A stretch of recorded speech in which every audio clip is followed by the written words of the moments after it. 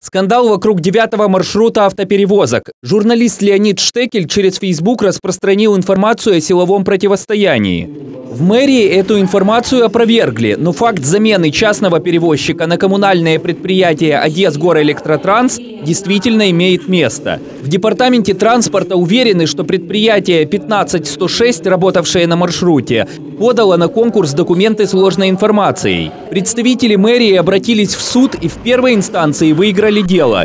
Сейчас оно рассматривается в апелляции. Тем не менее, срок договора с перевозчиком уже истек. Перевозчик подал для участия в конкурсе документы, которые не соответствуют действительности. Ну, для простоты, например, э, он подал транспорт, где написал, что это транспорт, например, там 2008-2012 года. В тех паспортах было вскрыто, что они 99-2002 года. Решение суда пока еще не вступило в законную силу, потому что подана еще апелляция.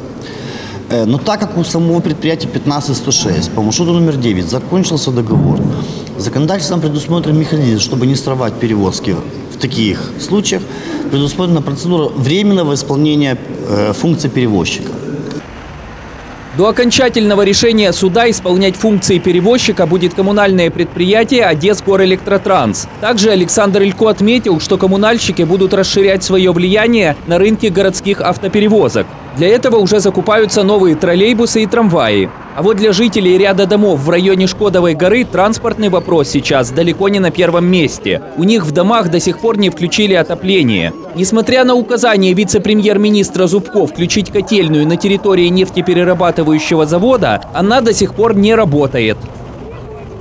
2 октября на селекторном заседании которое проводил вице-премьер-министр господин Зубко, было дано поручение по решению этого вопроса 2 октября. Уже практически прошло два месяца, и только завтра, потому что заседание э, Кабинета министров перенесли со среды на пятницу, завтра будет этот вопрос окончательно уже рассмотрен. Мы надеемся, что даст возможность уже включить котельную на нефтеперерабатывающем заводе.